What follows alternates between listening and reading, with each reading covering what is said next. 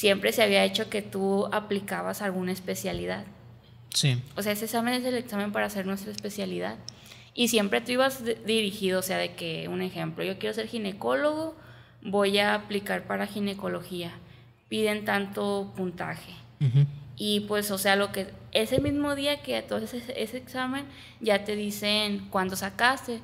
Pero ahí no te dicen si quedaste o no, pero ya tienes como que un aproximado. Y este año eh, no vas a elegir cuando haces el examen, vas a elegir después. Pero elegir qué. La especialidad.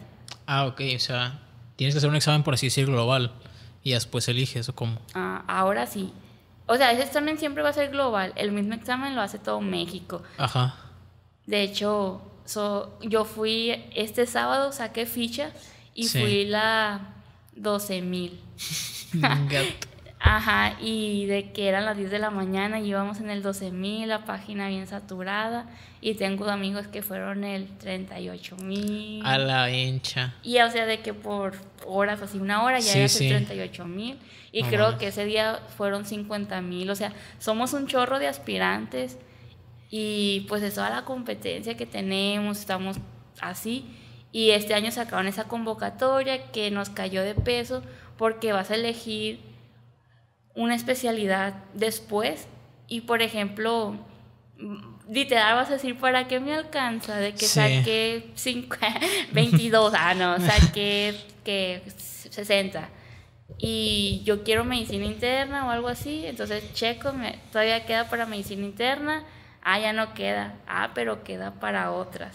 Ya va a ser una opción de que eh, me, alc- me espero al próximo año y aplico otra vez para lo y eso no se mismo. podía en los exámenes anteriores. Solamente podías elegir una vez Ah, antes. Y ahora ya vas a poder tener más opciones de elegir otras especialidades, pero el detalle es que hay personas que no queremos otra Sí, especialidad. o sea, ¿qué, qué opinas de ese sistema en general? Porque a mí se me hace un poquito extraño, ¿no? Que como que metan a todos en la misma bolsa si la gente se quiere dedicar a cosas distintas.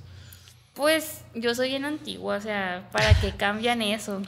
Y de perdida ya mi mentalidad ya iba a algo de que Sí. tengo, eh, voy a aplicar para esto, necesito tal puntaje.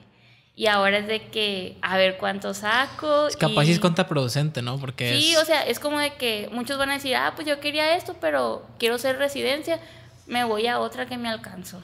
Ajá, o por, no, o por, por ponerse a hacer algo, a lo mejor agarran algo y se terminan quedando en eso y se Ajá. terminan sintiendo como que tristes o... Sí, es que es Incompletos mucha- en su vida. Sí, o sea, está bien loco porque, por ejemplo, me preguntas cómo me siento en ese momento de mi vida y me siento perdida, o sea, y siento Sí. que no soy la única persona.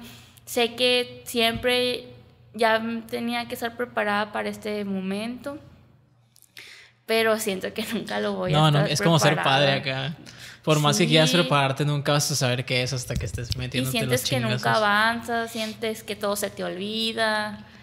Eh, sí, todo eso, o sea, estudias y dices, casi no estudié. ¿No se te hace en, en cuestión de, de, ¿cómo de educación educativa eh, un poco apresurada la carrera de medicina? Que yo sé que es bastante larga, pues, pero a lo mejor y, y yo tengo un concepto de que siempre están, o sea, que nunca tienen tiempo libre, que hasta ese estigma, ¿no? En, en la, en En la, la gente, carrera. ajá, en la gente, más que nada, la gente que no estudia medicina siempre está como que, ah, los de medicina siempre están de que, ah, güey, no dormí nada, traigo la bata puesta, traigo un café en la mano. Entonces, no sé, no sé qué opinas tú como estudiante, cómo, cómo sientes la carrera ya que la terminaste. O sea, porque obviamente cuando vas entrando, pues no te percatas de muchas cosas, inclusive todavía tienes como que ese amor, esa pasión, que quién sabe si se va eliminando con el tiempo, ¿no? Pero, ajá, puede cambiar tu percepción, al menos a nivel educativo, de qué sucede ahí y qué cam- podrías cambiar, pero no sé qué opinas acerca de eso. Ujú. Cree, pues, eso de que siempre andamos que no dormimos y la bata, pues sí es cierto. Literal, o sea, llegas a medicina y te gusta el café y te tiene que gustar el café porque. Yo he escuchado gente que sí sientes- se mete acá cosas bien densas, ¿eh? Para no dormir. Sí. Bien, bien pasó. ¿Qué es lo Sí. más, más loco que has escuchado? Que se hayan metido. Ajá. De que acá crack. Ay, no, porque imagínate que pase algo. Sí, está de peligroso. hecho, creo que nunca he estado con alguien que sepa que se haya metido algo muy fuerte. Siempre es como que café, que andan desvelados. mm, Monster. O pastillas. Porque utilizan las pastillas inteligentes, de que, por ejemplo... Ah, sí, sí, creo que sí las ubico, no sé de dónde, pero sí Por ejemplo, el- usan mucho el metilfenidato, que es un medicamento que lo utilizan para los niños que tienen hiperactividad. Creo que en Estados Unidos, de hecho, está... Está, Como son como drogas inteligentes. Ajá. Entonces, muchas veces los estudiantes de medicina consumen esos medicamentos para, según, retener más o aguantar más estudiando. Ser Pero más en lo personal, eh, no se me hace algo cool.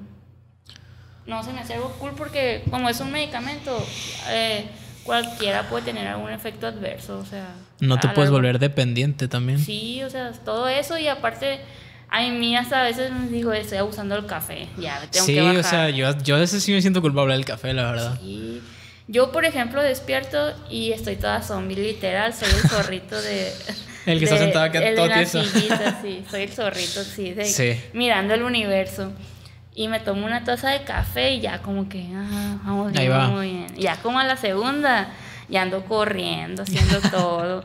Y más porque a veces estamos, por ejemplo, aparte de ser estudiante de medicina, eres joven. Sí, O sea, y que quieres tener una vida perfecta con todos los estereotipos que hay en todas las redes de que quieres hacer gimnasio, quieres cuidarte la piel, quieres tomar mucha agua, ajá. Ir al nutriólogo. ir al nutriólogo, salir tener con mascotas, los amigos, tener pareja. Ajá, regar tu plantita. Sí, o sea, no. O sea, cada quien tiene su personalidad diferente, entonces sí es...